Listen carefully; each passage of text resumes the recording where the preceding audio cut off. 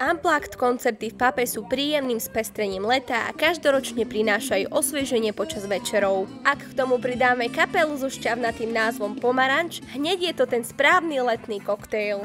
Hralo sa nám super. Skladby sme zvolili také trošku zábavné, také do tanca, aj reskejšie, aj pomalšie, aby si ľudia mohli aj trošku oddychnúť, porozprávať sa. Máme pár vlastných skladieb, neviem presne koľko, ale je ich pár. Niektoré sme si aj nahrali a sú aj na YouTube, môžete pozrieť. A potom máme skladby, ktoré sme si prerobili takým svojím štýlom, takým pomarančovým, že sú to možno slovenské skladby alebo aj zahraničné, ale vždy je tam niečo naše tak sme sa snažili tam vložiť kúsok seba. Pomarančová formácia vznikla so skupením nádejných hudobníkov zo súkromnej základnej umeleckej školy na Krosnianskej ulici. Jej hudobný žáner prešiel vývojom od jazzových štandardov cez funkové grúvy.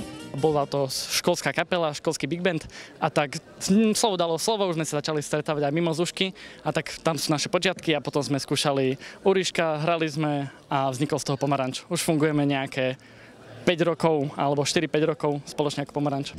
Mladá skupina hrajúca funk, jazz, ale aj ska, ktorej vekový priemer bol v ich začiatkoch 16 rokov, začínala ako školský big band pod vedením známeho saxofonistu Maria Gapu Garberu. Koncerty vlastne tu na Kultúr Parku ja stále mám rád kvôli tomu, že je tu veľmi príjemné prostredie a väčšinou aj výber kapiel mne osobne veľmi sedí. Napríklad Pomaranč počúvam odkedy vlastne začali nielen kvôli tomu, že sú to moji kamaráti, ale aj kvôli hudbe, ktorú tvoria. Veľmi ma, sa mi páči ten štýl.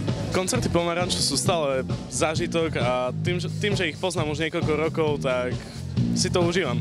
Kapela si viackrát zahrala na spoločnom pódiu s Marianom Čekovským, ale hudobníkov mohli Košičania vidieť aj na festivale Use the City či Polievkovom festivale. Vždy veselý, vždy usmiatý, vždy oranžový, to sme my kapela Pomaranč.